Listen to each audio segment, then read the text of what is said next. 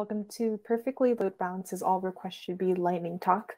My name is Christine. I'm joined with my colleague here, Nim. We're both DPEs at Google Cloud, where we focus primarily on Kubernetes and service meshes. So without further ado, we'll jump right into this beginner's presentation. What is load balancing? To simply put it, it is a way to distribute incoming network traffic across to your backend services. So here's a simple example of why this might even need to be in the first place. Let's say you have one user interacting with your containerized app, Foo. Everything should be working fine. But what happens if you have two, three, maybe a thousand more users interacting with your single pod of Foo? Now, this pod might not be able to handle the increase in requests coming in. So your first instinct is to scale up. So let's say your deployment now contains three pods of Foo. Now, that's great and everything, and you think you might have solved your problem, but we kind of introduced a new problem to replace that. How do we know which request should go to which service? This is where load balancing comes in. So Istio can help you navigate this tricky world of load balancing. So out of the box, Istio provides round robin load balancing, and that's what you probably tried out when you initially first started with Istio. So let's say you have a cluster called MyCluster and you have three pods of the foo service and then one pod of your front end service. In this situation, the client side envoy proxy, i.e., the front end, will choose a foo instance and in a rotational like manner we'll send the next request to the next foo instance. So you can see it will just go like that and repeat for each instance. So load balancing with Istio out of the box is quite nice. You get the round robin for default behavior. Uh, you also get a random uh, behavior as well. And then you also have a least request behavior. So random is exactly what it sounds like. Uh, requests are forwarded at random to instances in the pool. And then for the least request, a client-side envoy will choose two instances at random, and then it will forward the requests to the instance with the fewest number of active requests live. So it will ensure a normalized behavior across this load balancing. So destination rules are how you specify load balancing within Istio. And if you don't know what a destination rule is, it's a way to group a service into subsets and lets you define policies to apply traffic to that specific service. So using this, you have the ability to really get nitty gritty and specify how you want load balancing to occur. So if you look on the right here, you got a destination rule YAML for book info, which is kind of like the hello world of Istio, where you can see you have a round robin just being specified for your load balancing. Now you can take it a little bit step further. So let's say you have various subsets specified. You can also specify within each subset what kind of load balancing policy you want applied to it. So that's really powerful behavior. Let's scale up a little bit. So let's say your app is really popular and you decided to scale up and deploy clusters across to the US West, US East, and EU Northeast. So you're really going global. So to ensure high availability, you decide to have Foo service and the front end service deployed to each of your clusters. Cool. Istio can help you manage regional traffic. So let's say you have some user in San Francisco who wants to use your app. Their traffic will get navigated towards US West because that is the closest cluster to them. So they interact with front end, which then sends the request over to Foo service. That's great. Istio can also help you mitigate problems. So let's say your Foo service in US West goes out. Now your traffic will navigate towards US East, which is the next mm-hmm. closest Foo service. And that's a really powerful behavior that lets Istio mitigate that failure for you without showing to the user on the front end why if there is a failure in the first place. This is called locality failover load balancing. But wait, there's more let's say we have the same scenario where your San Francisco user is trying to interact with your app, and for some reason, Foo service in US West is still down. Traffic gets directed to US East, but for some reason, let's say that service also goes down. So that traffic will then, you can also specify that traffic to go to EU Northeast, which is really great because that is really flexible in allowing the failover to occur into different clusters. That's really powerful. You can also specify within Istio in the destination rule how you distribute traffic across localities by specifying a percentage.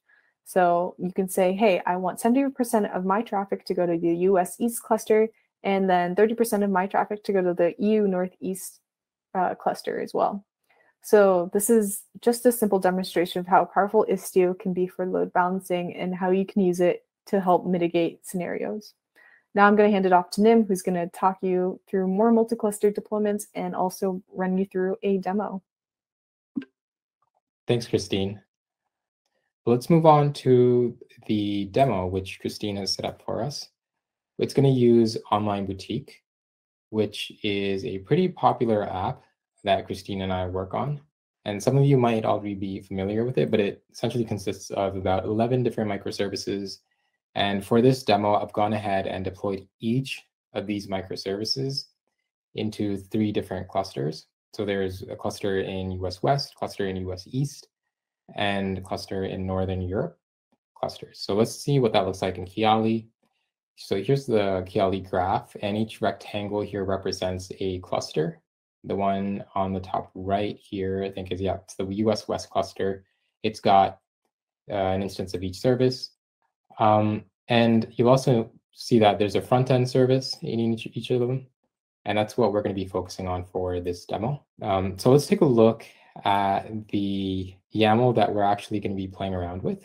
So it's this bit here. This is configuring a destination rule. And essentially it's saying, uh, if we start to see failures in the front end service of US East, then start using the front end service in US West.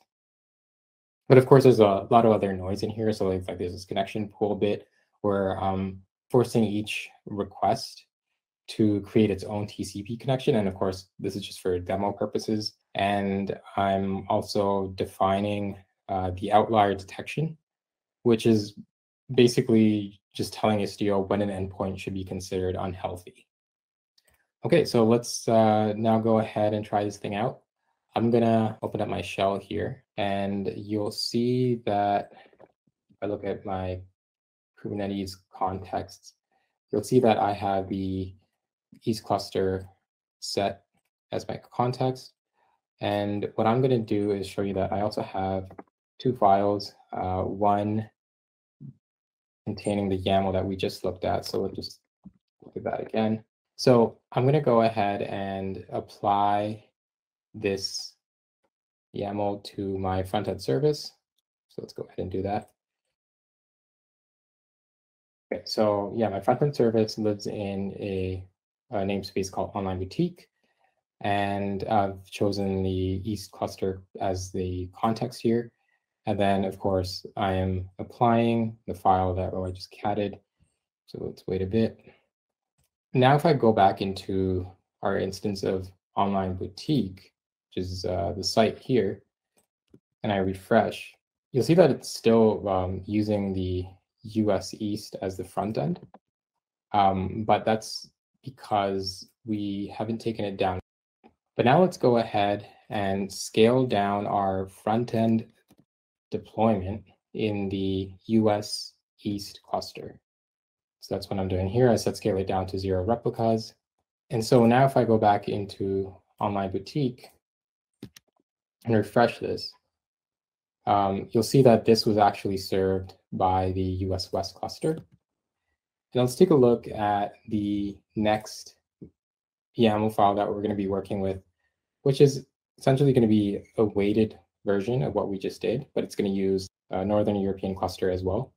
And here we're just saying, uh, put 70% of uh, the traffic into the West cluster and put 30 into the European North cluster when the US East cluster goes down. So let's go back into my shell here and I'll show you again that file.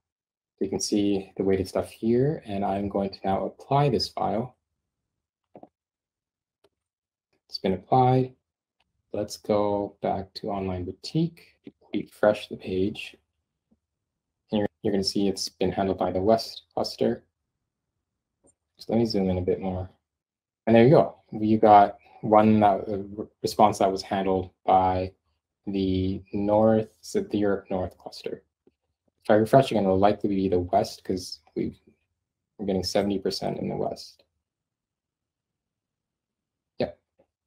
And that's uh, essentially the demo. Thanks so much for tuning in to Christine and my talk. Um, if you have any questions, you can always reach out to us on Twitter And yeah, that's it. Thank you. Thank you.